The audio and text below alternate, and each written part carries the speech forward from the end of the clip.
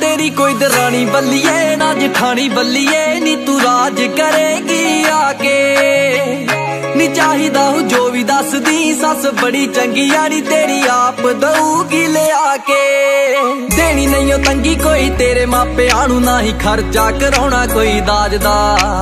ਗੁਰੂ ਘਰ ਜਾ ਕੇ ਚਾਰ ਲਾਵਾਂ ਲੈਣੀਆਂ ਮਾਨ ਰੱਖਣਾ ਏ ਆਪਣੇ ਰਿਵਾਜ ਦਾ। ਤੂੰ ਲਹਿੰਗਾ ਲੈ ਲਈ, ਪੱਗ ਨਾਲ ਤਾਂ ਮੈਂ ਤੇਰੇ ਬੇੜੇ ਟੁਕਣਾ ਨਹੀਂ, ਸੋਹਣੀ ਸਿਰੇ ਉੱਤੇ ਕਲਗੀ ਸਜਾ ਕੇ।